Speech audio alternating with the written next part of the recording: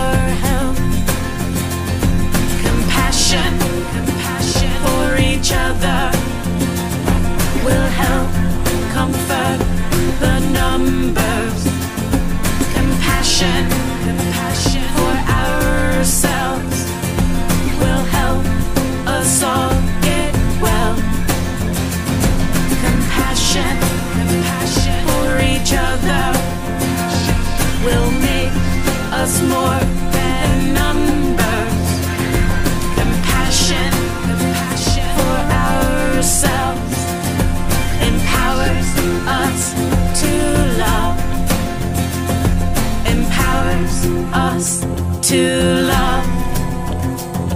Empowers us to love. We are all just people seeing charts and numbers. We are all the people behind the numbers. When numbers represent sickness and death, trust the scientists, the evidence. We must do all that we can to reduce the numbers now. No one wants to fear, no another number. We are all built to survive. We all have valuable lives. If we put our trust in facts, we will reduce the numbers with warm hearts and cool heads,